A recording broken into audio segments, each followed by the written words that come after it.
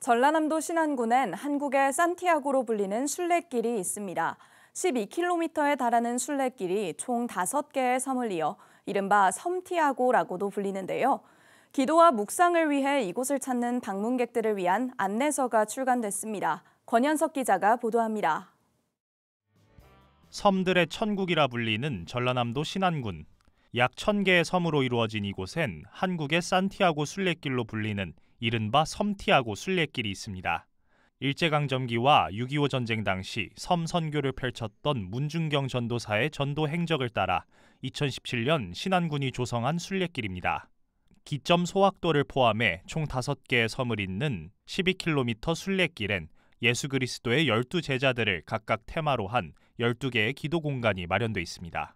책 12사도와 떠나는 섬티아고 순례길은 이러한 신안군 섬 순례길 여행자들을 위한 안내서입니다.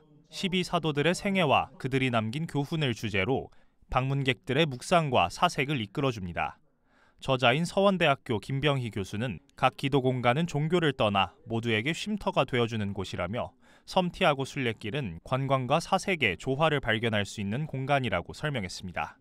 이, 이 공간은 어, 단순히 지금 카톨릭 신자라든가 개신교 신자를 위한 그런 공간이 아니고요. 어, 누구나 찾아가면 어, 이렇게 자신만의 이야기를 할 수 있는 어, 그런 보편적인 어, 치유의 공간이다. 이렇게.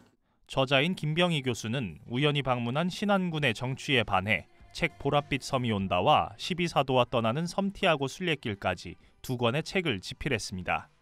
김 교수는 섬티아고 순례길을 통해 그리스도인은 영성의 의미와 가치를 종교가 없는 방문객은 스스로 성찰하는 시간을 가질 수 있다며 이번 책이 단순한 여행 가이드북이 아닌 사색과 치유의 안내서가 되길 바란다고 전했습니다. 구티비 뉴스 권현석입니다.